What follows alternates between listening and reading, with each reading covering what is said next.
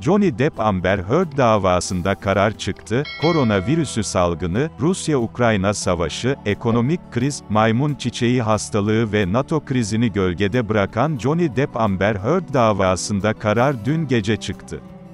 Jüri 50 milyon dolar tazminat talep eden Depp'i haklı bulurken 100 milyon dolarlık karşı dava açan Amber Heard'ü ise haksız buldu. Duruşmada daha önce yalan söylediği ve hayır kurumlarına yapacağı bağışı ödemediğini itiraf eden Heard'ü böylelikle finansal olarak zor günler bekliyor.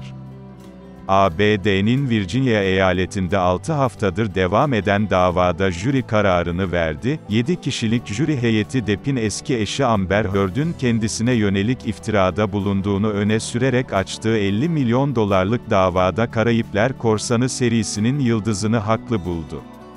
Jüri, Heard'ün hareketlerinin kötü niyet taşıdığını da belirterek Heard'ün Depp'e 15 milyon dolar tazminat ödemesine de karar verdi. Fakat jüri ayrıca Heard'ün suçlamalarından birinde haklılık payı olduğuna karar vererek Depp'in Heard'e 2 milyon dolar tazminat ödemesine hükmetti. Jüri, Depp'e 100 milyon dolarlık karşı dava açan Heard'ün bu talebini ise haksız bularak kapattı. Jüri, Depp'e 15 milyon dolar tazminat ödenmesine karar verse de hakim, bunu Virginia yasalarına uygun olarak yeniden düzenledi ve 10 milyon 350 bin dolara indirdi. Depp, 2 milyon dolar ödedikten sonra Heard'den 8 milyon 350 bin dolar alacak.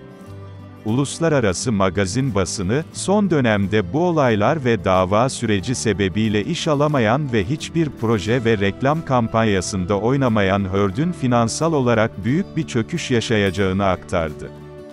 Duruşmaya siyah bir elbise ile gelen Heard'ün neşeli olduğu görülürken karar açıklandıktan sonra üzüldüğü ve avukatlarına kısaca sarıldıktan sonra mahkeme salonunu terk ettiği görüldü.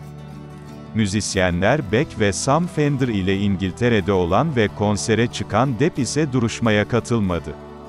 Uluslararası kamuoyunun yakından izlediği 6 haftalık dava Virginia'da gerçekleşti. Televizyon ve sosyal mecralar üzerinden an beyan yayınlanan dava sürecinde Depp 38, Heard ise 24 tanık çağırdı. Depp ve Heard 4 gün boyunca kanıt sunarken buna karşı tarafın avukatının çapraz sorgusu da dahil. Kısa bir süre evli kalan çiftin kavgalarının ses kaydı da yayınlanırken jüri onlarca mesaj, fotoğraf, video, sağlık raporu ve çiftin birbirlerine yazdığı aşk günlüğünün detaylarını inceledi. Kararın ardından bir açıklama yayınlayan Heard, hayal kırıklığına uğradığını dile getirerek, bu kararın kadınlar aleyhine olduğunu ifade etti. Heard, bu bir gerileme. Bu karar sesini yükselten bir kadının alenen utandırılabileceği ve küçük düşürülebileceği bir zamana geri götürüyor. Kadına yönelik şiddetin ciddiye alınması gerektiği fikrini ortadan kaldırıyor, dedi. Duruşmaya katılmayan Depp, yaptığı yazılı açıklamada mahkemeden çıkan karardan dolayı çok mutlu olduğunu söyledi.